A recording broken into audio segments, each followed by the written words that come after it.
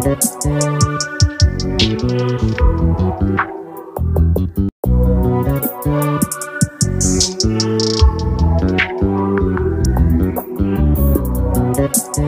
guys! It's me again, Simply Malu, Katribong Mangyan, and welcome to our YouTube channel! Yes, hello guys! So, galing kami ng park ng lola ko. So, pagbalik namin, nakita ko guys itong aming ayuda.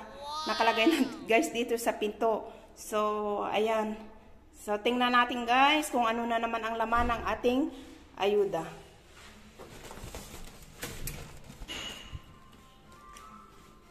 Shalom!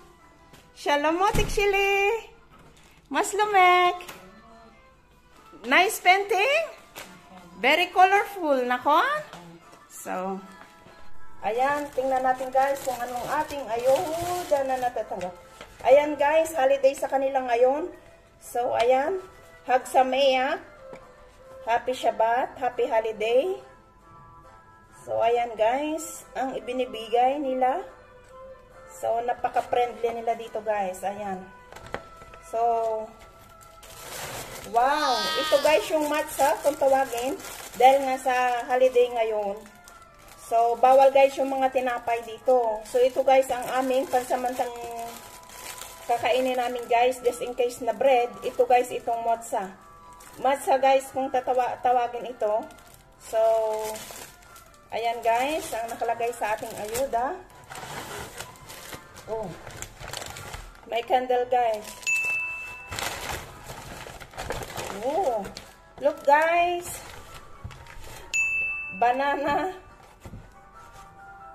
Isang orange. Ma? Nakon. At meron tayo, guys, na two, two pieces of apple. At meron peras. So, ito, guys, ang ating nakuha sa ayuda. Wow. At meron na naman guys na candle uli dito. So, bali dalawang candle ang ibinigay.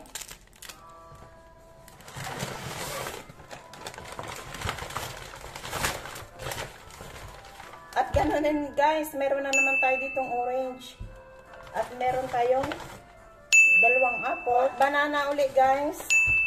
At isang peras. Ayan. So, yun lang guys, ang ating ayuda ngayong linggo na to. So, happy holiday, Hagsamea, Shabbat Shalom.